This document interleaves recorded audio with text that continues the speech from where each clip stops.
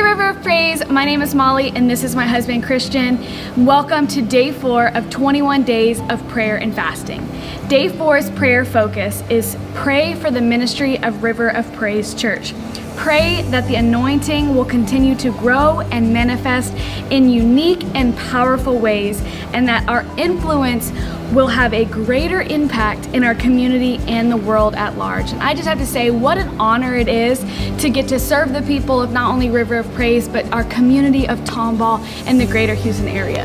Absolutely. Everything we do as a church, we want to be for the glory of God and to seek and save the lost. I mean, it is to do the will of Jesus, Yeah. to bring Jesus to the community.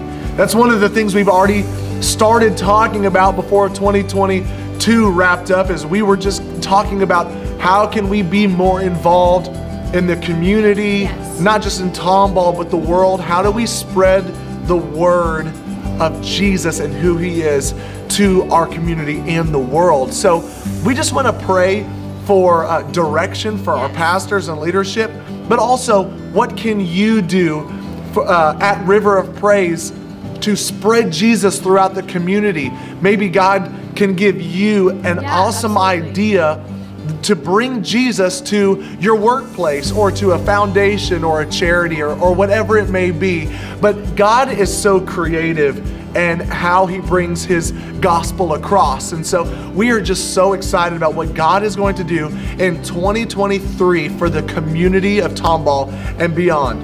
Yes, amen. So let's pray. God, we just thank you so, so much for this community of Tomball that you have stewarded us with. God, we just are grateful.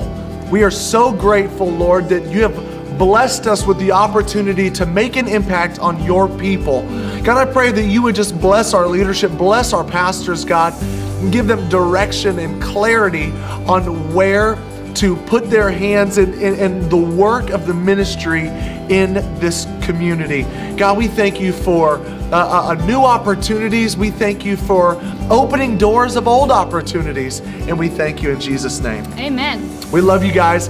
Thank you so, so much. We look forward to spending day five with you tomorrow.